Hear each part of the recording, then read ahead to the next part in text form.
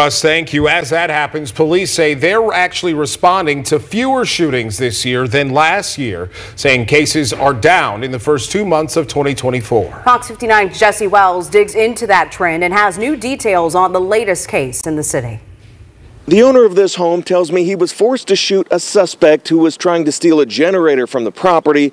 At the same time, IMPD reports non-fatal shootings like this incident are down double digits over the first two months of the year. Just after 5 o'clock in the morning, here on Forest Avenue, police were called after a homeowner admitted he shot a would be thief in the leg to protect himself and his property from being stolen following a home break in.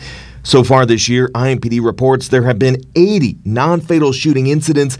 That's a decline of 20% compared to the same time last year. The number of victims has also gone down, and that continues a trend of non fatal shootings decreasing over the last three years.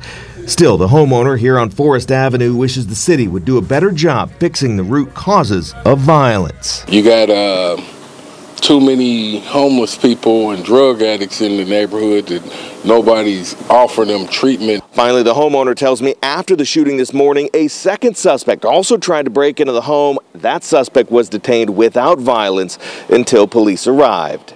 Jesse Wells, Fox 59 News. Jesse, thank you. Also today.